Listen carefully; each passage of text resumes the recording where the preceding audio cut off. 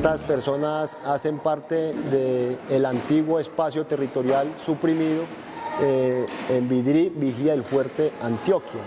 Ya sabemos de que en este espacio eh, hicimos dejación de arma a 471 integrantes de los frentes 34 y Aurelio Rodríguez. Eh, producto de esa suprimida del espacio se formó una dispersión de este personal.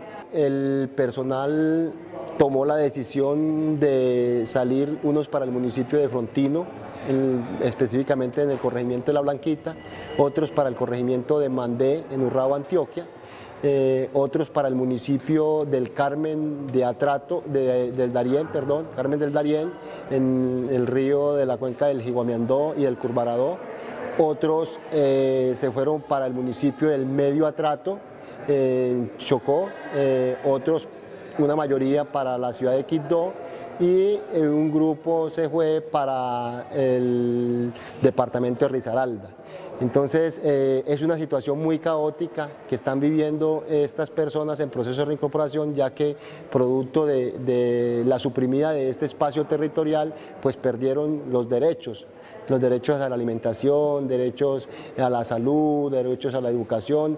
Han sido muy difícil eh, llevar a cabo la reincorporación en todos estos eh, espacios que quedaron contempladas en los decretos eh, presidenciales para la reincorporación. por eso le estamos diciendo al gobierno nacional que le eche una miradita real al personal en proceso de recuperación en todo el territorio para que podamos avanzar en la construcción de esa paz desde los territorios como quedó contemplado en el acuerdo.